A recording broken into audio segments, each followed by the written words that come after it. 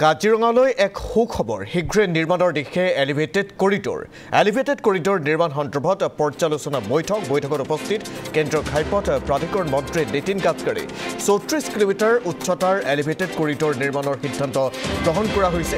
পঞ্চাছ কিলোমিটাৰ দৈৰ্ঘ্যৰ চাৰি লেনযুক্ত পথ নিৰ্মাণৰো সিদ্ধান্ত গ্ৰহণ কৰা হৈছে। লগতে তিনি কিলোমিটাৰ দৈৰ্ঘ্যৰ সুৰংগ পথ নিৰ্মাণৰো বিশেষ পৰিকল্পনা।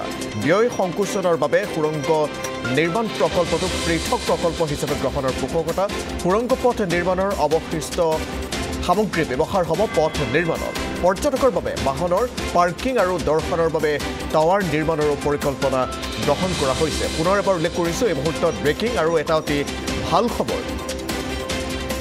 কাজিৰঙালৈ সুখবৰ শীঘ্ৰে নিৰ্মাণৰ দিশে এলিভেটেড কৰিডৰ। এলিভেটেড কৰিডৰ নিৰ্মাণ সন্দৰ্ভত পৰ্যালোচনা বৈঠক অনুষ্ঠিত হৈছিল। বৈঠকত উপস্থিত আছিল কেন্দ্ৰীয় ঘাইপথ প্ৰাধিকৰণ মন্ত্ৰী নীতিন গাডকাৰী। চৌত্ৰিছ কিলোমিটাৰ উচ্চতাৰ এলিভেটেড কৰিডৰ নিৰ্মাণৰ সিদ্ধান্ত গ্ৰহণ কৰা হৈছে এই বৈঠকত। পঞ্চাছ কিলোমিটাৰ দৈৰ্ঘ্যৰ চাৰি লেনযুক্ত পথ নিৰ্মাণৰো সিদ্ধান্ত গ্ৰহণ। লগতে তিনি কিলোমিটাৰ দৈৰ্ঘ্যৰ সুৰংগ পথ নিৰ্মাণৰ বিশেষ পৰিকল্পনা যুগুত কৰা হয় এই বৈঠকত। ব্যয় সংকোচনৰ বাবে সুৰংগ নিৰ্মাণ প্ৰকল্পটো পৃথক প্ৰকল্প হিচাপে গ্ৰহণৰ পোষকতা।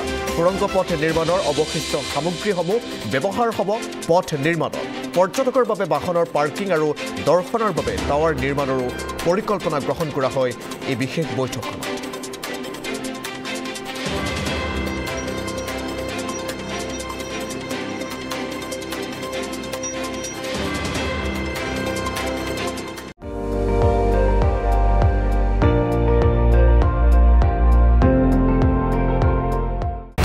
আপুনি চাই আছে এন ডি টুৱেণ্টি ফ'ৰ সৰ্বশ্ৰেষ্ঠ নহয়। সৰ্বোত্তমৰ দৌৰত।